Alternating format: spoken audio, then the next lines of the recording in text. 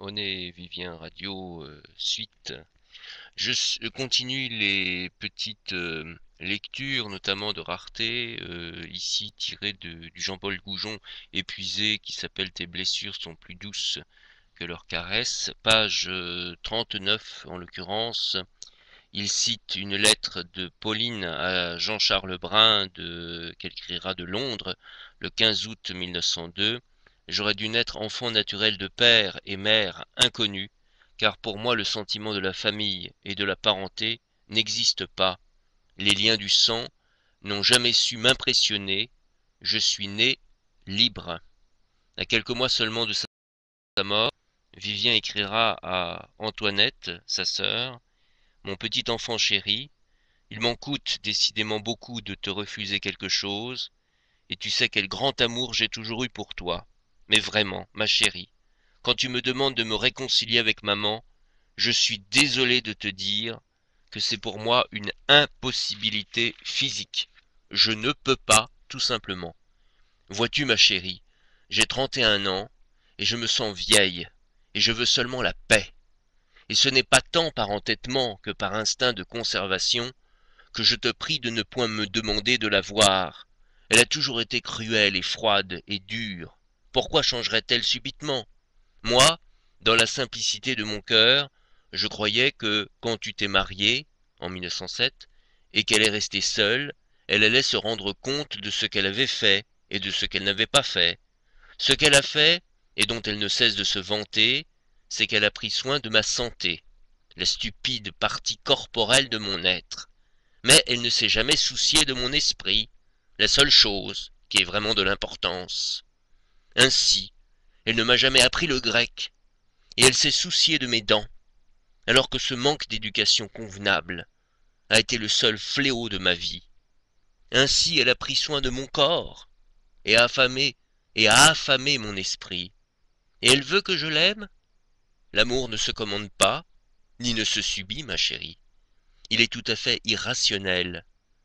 Même si j'étais sur mon lit de mort, je ne pourrais pas l'aimer et je ne la voudrais pas à mes côtés.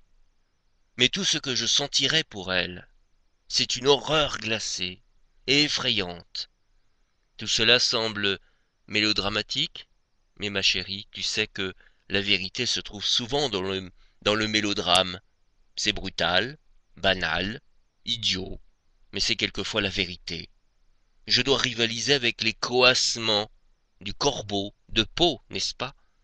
Mais pardonne-moi, ma chérie, et sois assuré que je suis ta sœur, très dévouée.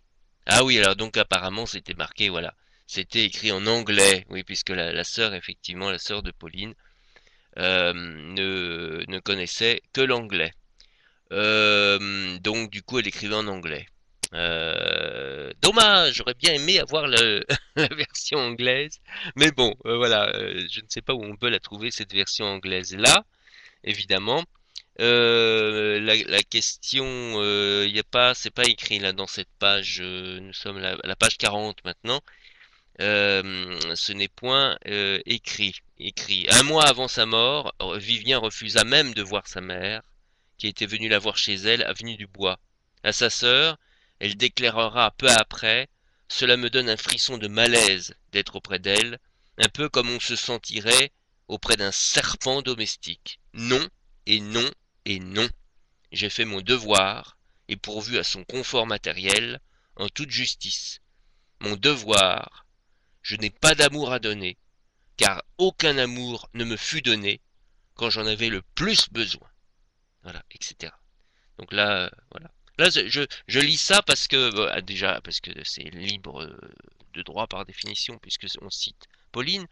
Euh, je cite ça parce que j'avais des, personnellement, en tant qu'éditeur, j'avais des remords à me dire, euh, je n'ai pas l'accord moral de la famille actuelle, de, on, va dire la famille de sang.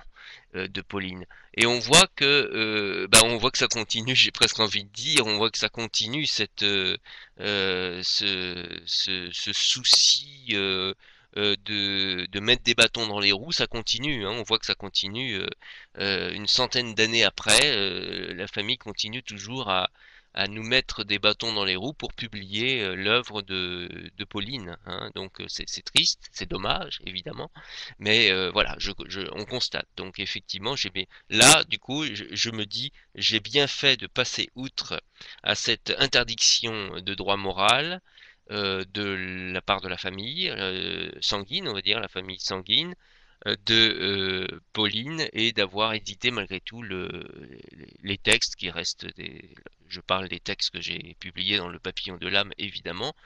Euh, ça reste des, magnifiques textes vraiment je ne regrette vraiment pas de les avoir publiés